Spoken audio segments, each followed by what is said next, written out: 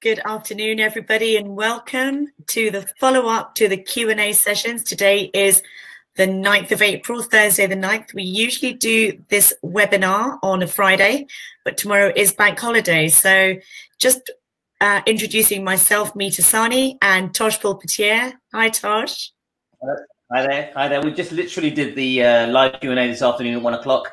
So what we've been doing for people to make sure that all of their questions are answered is we're literally going to go through the chat um, chat uh, box and answer each and every single question that was covered within that session or wasn't covered, just so there's absolute clarity. Uh, particularly people that were looking for um, you know specific answers to those questions. But also, if you've got any questions anyway, just reach out to us. Our contact details are there, our emails, our telephone numbers. You know, if we don't know what to do in these uh, this climate, we'll know somebody that can help. So uh, please do we should get in touch with us, whatever the query, and just see you know use the expert advice and help that's available. Yeah, absolutely. Well, everyone who participated in the event today made it really, really relevant and useful. So thank you all for your questions. Uh, and without further ado, I'm going to be moving into starting those questions. Tosh, are you ready? Yeah, let's go. Let's dive in. So something I did notice, Tosh, was that um, there were some questions that we were still trying to get the clarity on. So I know that we've spent a few minutes going and looking at uh, statutory information, legislation updates, and uh, I wanted to start just by walking through. Now, we, if we've covered some of these already, I won't, we won't go uh, into too much detail. But um, the first question, actually, I know you and I did want to go out, uh, uh, back and look at, and that was from Eric, who asked, I thought it was possible to claim employers' NI contributions based on the 2,500 in addition to the 2,500. So what's the, what is the actual position on that? Because I thought you couldn't, but I think you've got uh, an update. Yeah, well, so so I mean, Eric Eric asked the question, and then he made me kind of doubt myself. Which is I said I'll, I'll double check it because even I was thinking, wasn't that inclusive? So I went straight to the government site. Uh, you can't see it here. I'm not going to screen share it. Uh, the government's uh, guidance, which is about claiming for wage costs through the coronavirus job retention scheme, and this is what it says, word for word. Okay, it you. It says uh, that if you can, uh, uh, by the way, the the HR online portal is going to be up and running from the 20th of April. So we'll have a much clearer guidance of specifically what is or isn't needed. But anyway, it says this on the government uh, website. Okay, uh, if you cannot maintain your current workforce because your operations have been severely affected by the coronavirus, you can furlough employees and apply for a grant that covers 80% of their usual monthly wage costs, up to £2,500. We know that already, plus the associated employer national insurance contributions and minimum automatic enrollment uh, employer pension contributions on that wage. Okay, so what that basically means is it's on top of. So so people should be getting the two and a half thousand pounds. That's great news. That is really great news because oh, assuming that their limit is is beyond that. Yeah, it's eighty percent. Is it two and a half max? Two and a half is the max. Yeah, exactly. Yeah. And um, Vivian also asked whether that was taxable, and it is taxable. So we we, we but it's kind of taxed at source because it's already been paid, and then it's just a matter of being reclaimed, right? By by the organisation. By the organisation and passed on to the employee. Yeah, unless it's already been paid. Correct. yes. Yeah. yeah. Correct. exactly right. If it's been paid already, it's a reimbursement to the employer. If it's not been paid already, it's money being claimed that then has to be passed on to the employee. Perfect. Thank you. Um, now, the next question we had around furloughing was uh, about staff that had been furloughed. Uh, but okay, I'm going to read it out. It's from Simon. If I have furloughed staff and someone wants to work for someone else in that period, what restrictions are there around when they can work? Um, now, you again did give us some clarity on that. Is there anything you want to add? It was. No, it's brand new. It really came up this last couple of days. Yeah. Um, and the situation, uh, weirdly for me, employment lawyer is the employee can work for another employer whilst they're furloughed. So that in essence can mean that they can earn up to 180% of their salary, 80% through the furlough scheme and then 100% from the new job, right? Um, so there's nothing stopping them uh, from working during normal contracted uh, um, working hours whilst they're furloughed, as long as it is with the employer's agreement. If the employer does not agree that, then they can't do that. I guess the question would be, well, if there's no work to do, why wouldn't they agree that? I suppose the answer to that might be that if they're doing some sort of furlough rotation after every three weeks, because that's the minimum period that the furlough agreement could be in place for, well, then that other employee has to be available, presumably, yeah. during that time. So as long as there's clarity on the, the circumstances, the terms that's being permitted, there's nothing stopping an employer working somewhere else whilst they're on furlough leave.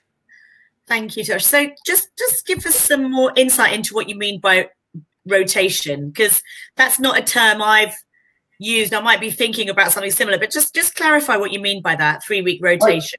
It's kind of be understandable, isn't it? Where there are employees that are working and maybe they're getting 100% of their pay, and there's other employees that are not working and they're getting 80% of their pay.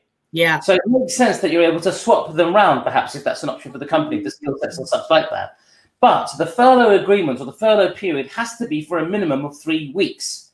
So you, that means you can rotate every three weeks. That one employee is furloughed, another one's working, and then you swap them over. Now you need to have the documentation in place to show those furlough periods, whether it's a separate furlough agreement or whatever it is you're going to have to demonstrate to the HMRC. Because yeah. when we come into investigating all of this at the end of this whole process, at the moment they're just dishing out lots of money to people, right? The the the, the, the portal's going to be up on the 20th of April. The first payments are going to be made by the 30th of April.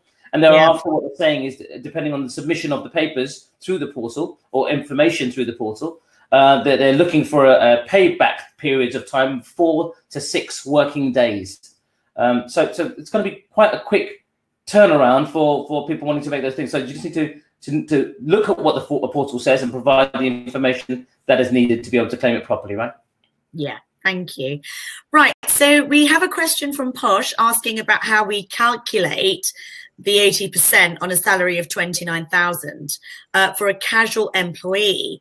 Now, I mean, the term casual is quite a broad range of, of connotations, isn't it? I mean, what would you take as casual sort of temporary? I, I, wouldn't, I wouldn't look at that even Meeta. What okay, I would look fine. at is what is the criteria to be a furloughed employee? Yeah. Well, they have to be on the PAYE. If on the PAYE, PAYE is a zero, casual, whatever you want to call it, yeah. it still applies. Then yeah. it's only a matter of calculating how, what is a month's pay for them. And what they're saying is where it's variable, which I'm presuming what the casual arrangement might be if they're on the PAYE system, yeah. is it calculated on, on the earnings over the last 12 months divided by 12. Or yeah. if it's you know if it's variable, what you can do is you can look at what that person was earning at the same time last year. And what if they've only done a month with the organization so far? What the guidance is saying is you want to have a year's worth of credentials. If you haven't, you're going to give whatever credentials you've got. Okay. Obviously, the idea is that they're on the PAYE from the 28th of February onwards. Um, and, and so, you know, there may be some people that's just started a few weeks or a few months and they'll still be entitled to it, but they'll base it on the information that's available. So a lot of clients are asking us because we obviously provide temporary and contractual uh, people out to organizations.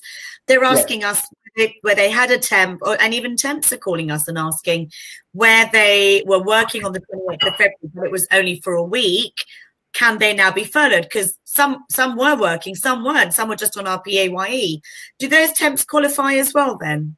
If they are on the payroll as of yeah. 28th of February, yes, Absolutely. Fine. Whether it's been there one day or a thousand days or wow. anything more, Fine. or anything in between.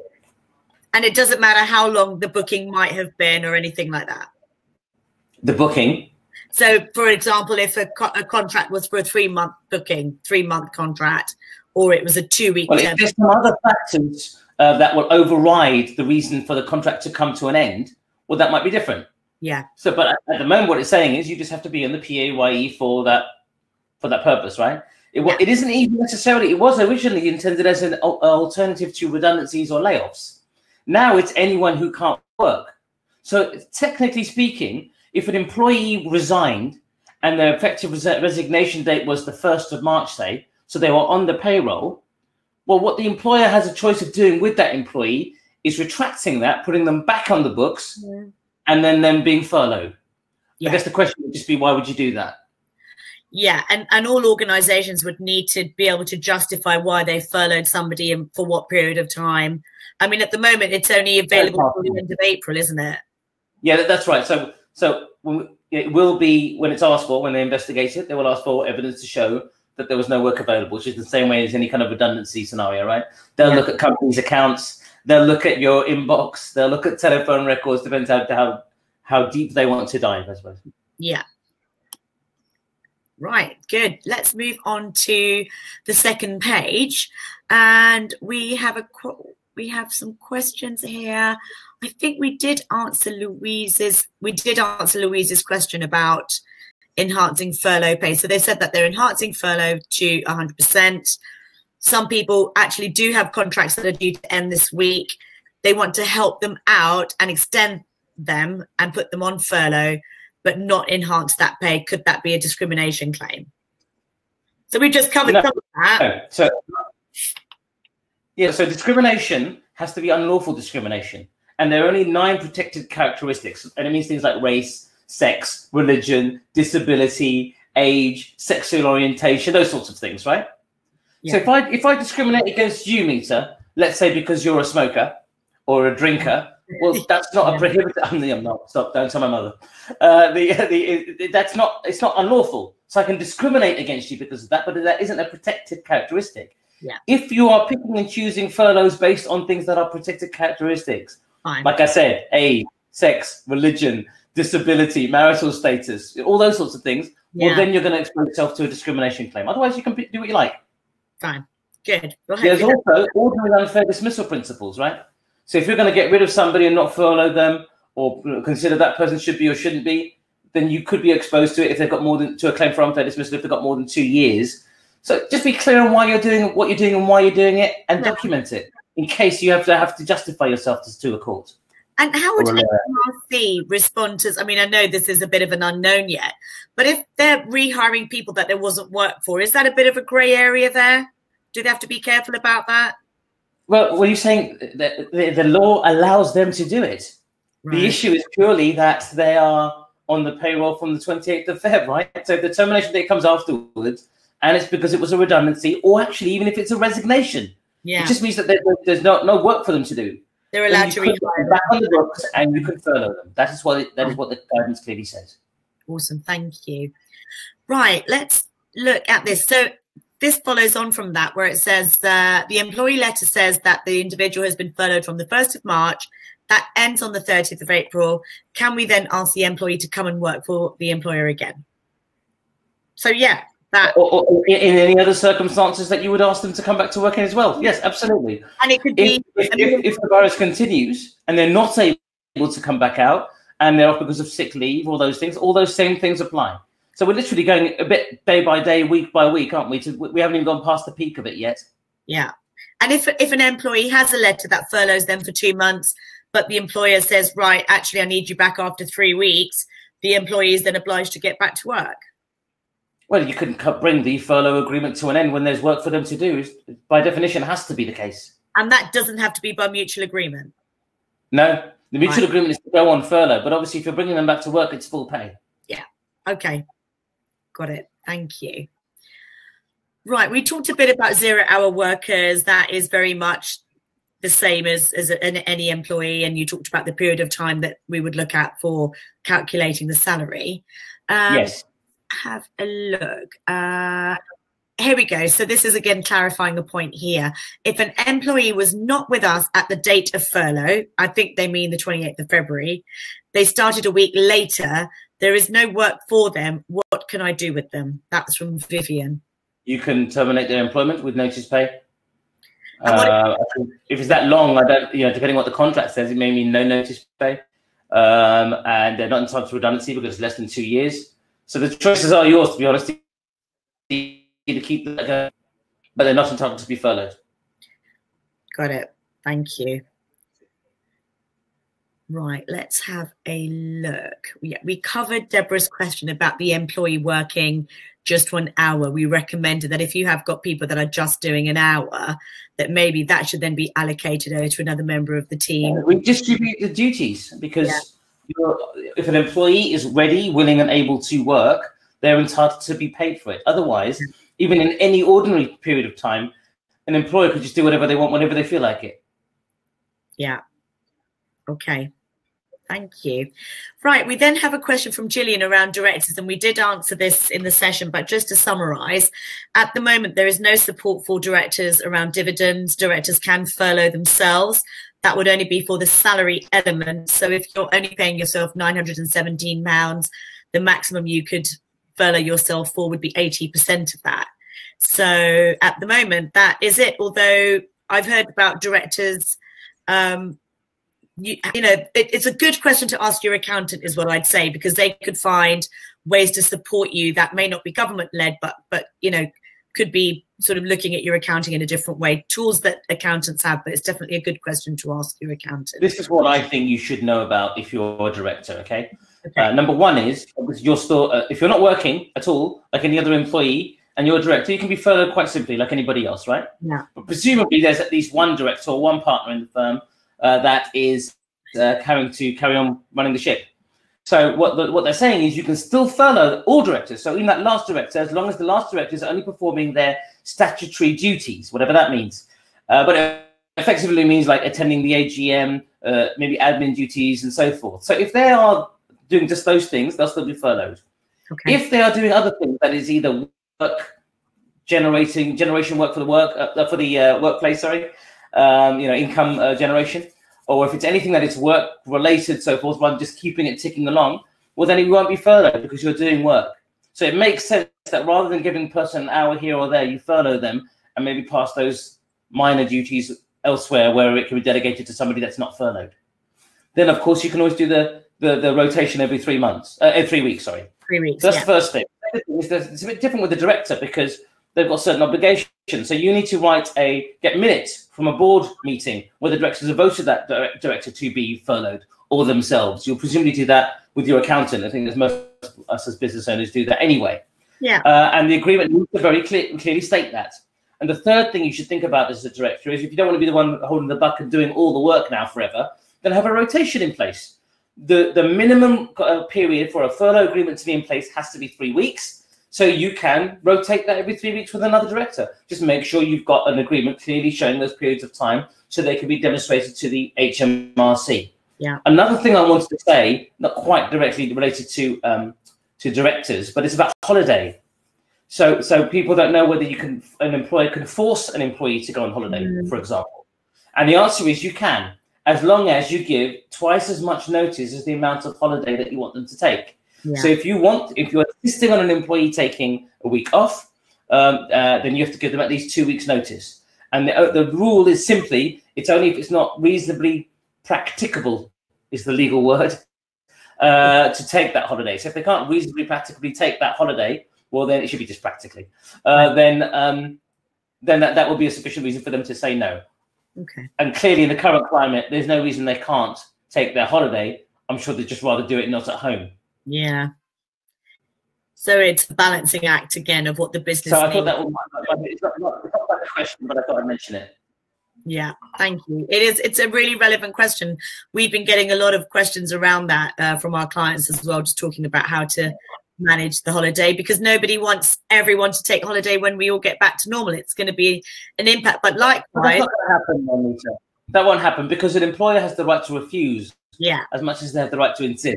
Yeah. As long as the refusal is reasonable, it'd be crazy, wouldn't it? They can't, yeah. people can't just book a holiday without telling you. So you yeah. get approval first, and that depends on the needs of the business. So I, it generally won't be that. It will be a case of managing how you do certain things. But as I say, it's a moot point. It's still it's still open to the company or employees to decide. Well, am I going to insist you're taking holiday, employees, or not? Otherwise, yeah. the carryover is for two years now. Right. Yes. So it so if say for example, uh, limited to four weeks, by the way only the first four weeks. Everyone's yeah. entitled to five point six weeks a year, pro rata, full time, whatever. Yeah, uh, but but um, but it's only the first four weeks that carry over. That could be carried over to the following year. Yeah, for two years, yeah. So that's this year and next year. Is that what that means? Correct. Is that is correct. Yes. Yeah, so it could be taken over two years instead of one. Correct. Perfect. Thank you, Tosh. Well, we've got some really nice comments as well. So thank you, everyone. Hopefully, this Q and A sessions format is still very relevant. We are going to be moving the conversation forward for next week. Our next for, uh, next webinar will be Friday the 17th, back to Friday. Uh, we, we, couldn't do this week on a Friday because it's bank holiday tomorrow. Um, but next week it's back on Friday the 17th. And again, we want what you're looking for from, from these sessions. Um, so we're going to be sending out a follow-up link that will have a recording of both the original Q&A webinar and also this follow-up session and with a link to the next webinar, which we would love your thoughts on what you'd like. But we are moving the conversation forward to support you in the business continuity challenges that are starting to arise now that we've uh, established where we are in, in, in the current crisis. Look, Misha and I would just like to know, you know, what are your top three nightmares right now? What are the biggest problems you're facing right now? Just tell me your top three.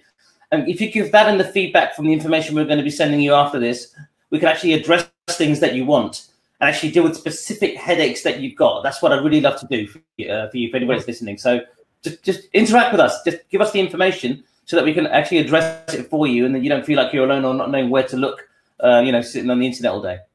Awesome, fantastic. So that's it from us. Stay safe, everyone. Have fantastic Easter's, and we'll see you next Friday at one o'clock, hopefully.